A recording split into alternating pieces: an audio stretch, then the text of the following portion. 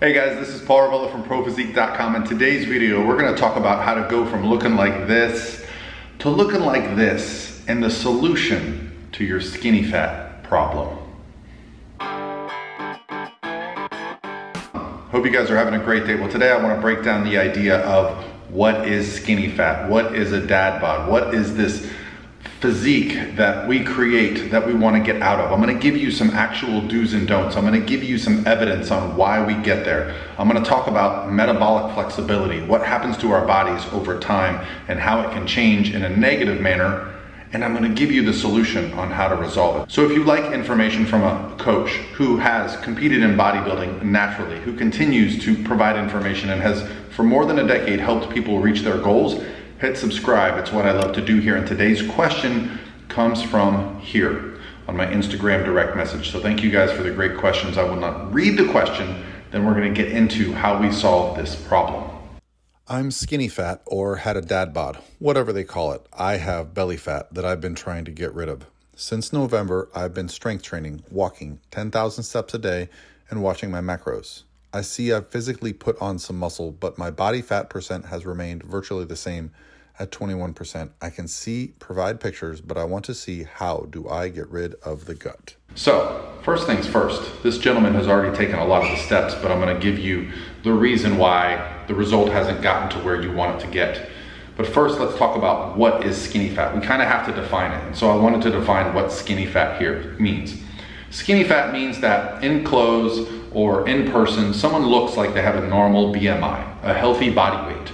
Top to bottom, their weight does not look out of place. You would not look at this person and say, wow, they are out of shape. However, they have put themselves in a position where they have below average body mass as far as muscle and strength, and they have above average body fat, okay? So what this does is it positions us in a place where most likely we've gone through lots of phases of fat loss.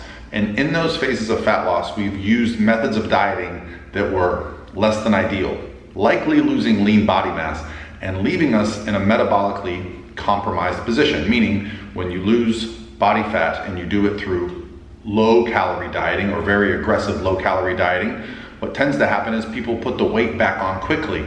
Problem is, they put body fat back on quickly thus meaning they have a suppressed metabolic rate and an increased rate of body fat storage. So a lot of the issues that are related to being skinny fat that I've seen are just through repeated bouts of terrible approaches to getting weight off and being weight focused. And while weight does matter, ultimately it should not be the ultimate test of success, right? Sometimes the scale is going to go up. When? We add lean body mass and muscle. And this is the magic marker. This is what we should all be after, having the most amount of muscle that we can on our frames. Now I do it as a natural bodybuilder and you can do it as a natural bodybuilder too. So first things first, I wanna talk about what we need to do in order to improve our body composition, meaning less body fat, more muscle you got to let go of the number on the scale. Okay, some of us get attached, both men and women, to a number on a scale that means success. You got to let go of that number and start to look at things like waist measurements, body composition as far as body fat percentage, and our strength and performance in exercise in a sport, or perhaps like me, if you go into the gym, you can look at successes. Hey, I was able to lift more weight this week or this month than I was last month. Those are improvements. If you play a sport, you're able to run faster, jump higher, last longer. These are measurements that are more important than just the scale. Now to do this, we have to just understand basic nutrition needs. Our body requires nutritional need to reach these goals. And I've talked about this many times and I have many free ebooks on my website at prophysique.com, but let's just go over the basics right here so you understand.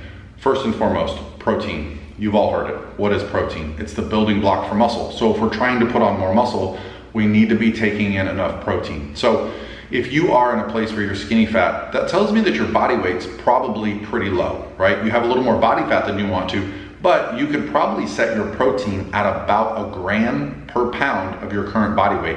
That's gonna be plenty of protein, right? Now the struggle there is making sure we don't overdo the carbs and the fats.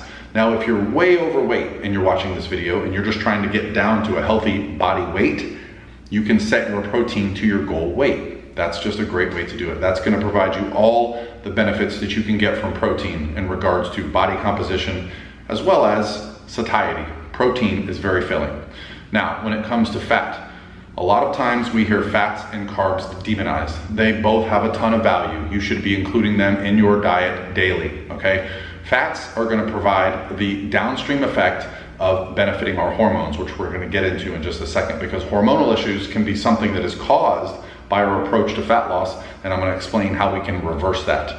Also, carbohydrates. Carbohydrates get demonized because many people associate carbohydrates with fat storage because we know when we eat carbohydrates, we release insulin. But did you know that insulin is actually anabolic? Yes, so let's talk about what that means. And lastly, before we get into some of these mechanisms, I wanted to talk about what happens at the end of our lives if we have too much body fat and too little muscle. It's actually been associated with cognitive decreases in performance. That's right. So it's potentially possible that by keeping more body fat and having less muscle, we are going to shorten our quality of life.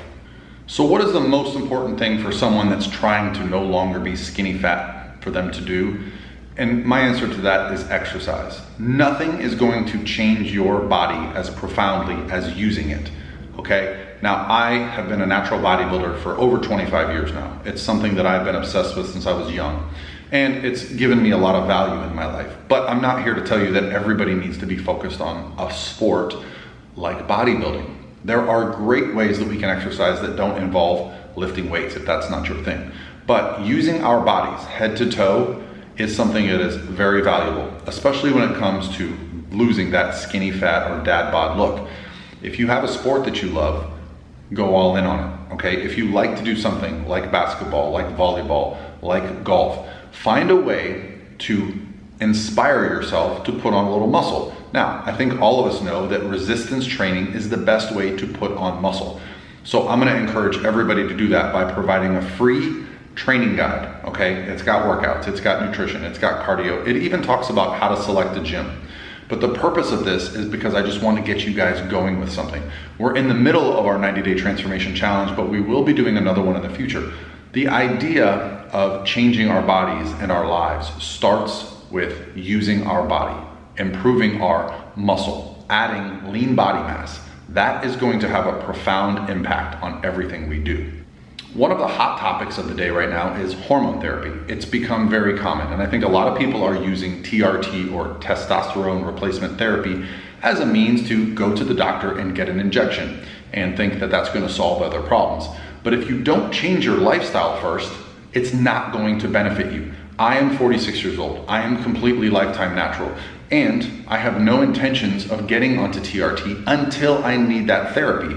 But I don't think that's coming anytime soon, and let me explain why. Exercise, strength training, actually re- releases anabolic hormones. That's right. So, before you go and just jump into doing some TRT or some hormone therapy, it would be better if you actually put your lifestyle in a position to see how you respond. You may not need it. By adding muscle, by losing body fat, by focusing on some factors that I'm going to explain here in a minute, you will actually improve your hormone profile naturally without having to just get on something that you have to inject every week, every month, whatever it may be. While that may be a good kickstart, you are still going to have to change your lifestyle. So I would suggest that everybody that can make the lifestyle change first before going down that avenue. So what are these anabolic hormones that everybody talks about?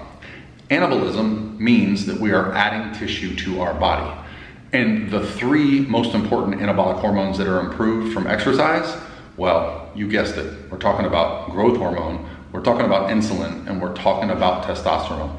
Now, I know insulin gets a bad rap, but it's actually anabolic. So when we're eating carbohydrates and we're actually producing some insulin, it can benefit us. That's right, because insulin is going to store our energy in our muscle cells. That's right. Now, obviously, if we're over consuming calories far beyond our needs, then you can store body fat, but you don't need insulin to do that. In fact, if you over consume fat, you will store fat directly from your food. Doesn't even need to be converted like it does with carbohydrates. So, what really matters here is our caloric profile and our daily routine. So let's talk quickly about the things that you should not do when you're trying to improve your body composition. Number one, crash diet. This is how we got in the problem in the first place, right? Crash dieting, where we do these 800 calorie, 1000 calorie, 1200 calorie diets for months on end, and we get our body fat to come down, we get our body weight to come down, but we end up losing what I would consider the most important part of this process, which is lean body mass, okay, muscle. Sarcopenia is a real thing. Having low muscle mass as we age really causes the decline of the human condition much faster. So we don't want to lose muscle. So do not crash diet. We also suppress our metabolic rate. Our metabolisms are adaptive. They're very dynamic. So when you do a low calorie diet, your body adapts to that and that becomes your new norm. And nobody can stick to these 800 calorie diets forever. You reach your goal weight, you go on vacation, you put on 20, 30 pounds, you come back. Now what do you do? Because you put on body fat so quickly, you haven't allowed time for your metabolic rate to increase and you try to go on another diet. And you can see how these cycles can compound. Also, don't overdo alcohol consumption. While I am a big fan of having a drink every now and then, drinking all the time can have some downstream problems, okay? It's going to suppress some of our anabolic hormones like testosterone. It's also going to impair some of our decision making. It's going to dehydrate us. It's also going to impair protein metabolism.